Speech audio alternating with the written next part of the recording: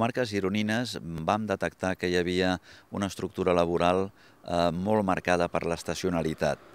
I l'estacionalitat la veiem com una de les cares de la, de la precarietat amb sous baixos, amb contractacions de curta durada, etc. Doncs una cara més de la precarietat és l'estacionalitat. Com avaluar, com dir quanta estacionalitat es té. Aquí nosaltres hem creat un índex d'estacionalitat per fer-ho entenedor. L'índex d'estacionalitat és una de les cares de la precarietat, és un fenomen molt marcat a comarques gironines, es tradueix amb una línia Dragon Can de puntes cap amunt i puntes cap avall amb una diferència de pocs mesos. És a dir, veiem les dades de llocs de treball existents a segon trimestre i les contrastem amb les existents a quart trimestre. I cada any es repeteix el mateix cicle punxegut, cap amunt i cap avall. Estem a Lloret, estem a la selva marítima, aquí, sense anar més llum, ens trobem en, un, en, un, en una situació de llocs de treball que a, a segon trimestre, a mes de juny, juliol, eh, estem en 28.000 llocs de treball. En aquest moment hi ha 18.000 llocs de treball. Aquesta diferència, aquesta reducció de llocs de treball, és una bomba sociològica, és una bomba que impedeix l'arrelament eh, vital, l'arrelament laboral, eh, les persones necessiten eh, tenir feines estables perquè les hipoteques, els lloguers són estables, són 12 mesos l'any i no els deixis de pagar. En aquesta situació laboral, que passem de 28.000 llocs de treball a juny-juliol als 18.000 d'ara, evidentment eh, obliga a moltes persones a entrar en un sistema mm, de subsidi, d'atur, de cobertura cada vegada més baixa o d'haver de marxar i de no arrelament laboral. És aquesta la realitat. Eh, pràcticament el 40% de llocs de treball en aquesta costa tan bonica, com és la Costa Brava, eh, fluctua. En pocs mesos canvien un 40%. Ens trobem amb unes dades de reducció de l'atur que són absolutament enganyoses. Eh, ens podríem trobar amb la situació paradoxal d'acabar un any amb una reducció de la taxa d'atur, però alhora també haver-hi una reducció de llocs de treball a la demarcació de Girona. Aquesta situació vindria donada per una causa, una causa molt clara, l'envelliment de la població activa.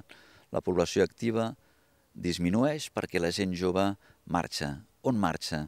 A llocs on puguin trobar feines estables durant els 12 mesos de l'any, no amb aquest grau d'estacionalitat que tenim a la demarcació de Girona, que fluctua entre 280.000 mm, llocs de treball i 320.000 llocs de treball. Aquesta és la fluctuació amb una diferència de 3-4 mesos.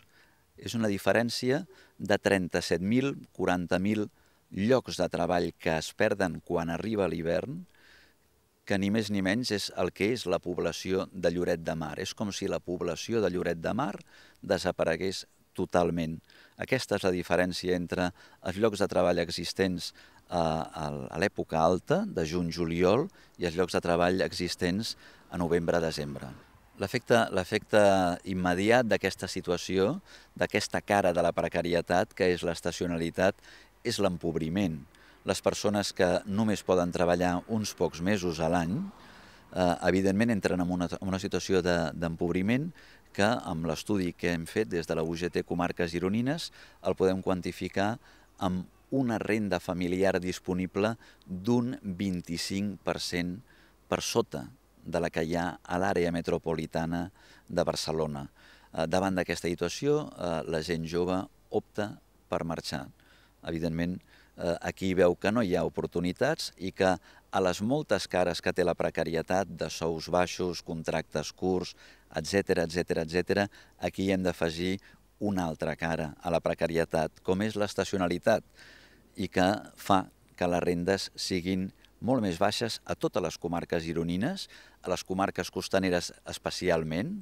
Evidentment, una demarcació sense gent jove és una demarcació que no té futur que pot acabar sent un pessebre, com aquí veiem, un mal pessebre, fruit d'una bombolla immobiliària, d'una bombolla d'hostaleria, d'una hostaleria, un, un model eh, de fer l'agost, així seria l'eslògan de la hostaleria que es fa a Lloret, amb temporades d'estiu cada cop més curtes, que no tolera tenir eh, l'hotel amb una ocupació mm, eh, d'un 50-60%, ja eh, l'incomoda, ja no té el rendiment que voldrien de pelotazo eh, hoteler i aleshores opten per tancar l'hotel, amb la qual veiem que cada vegada les temporades són més curtes.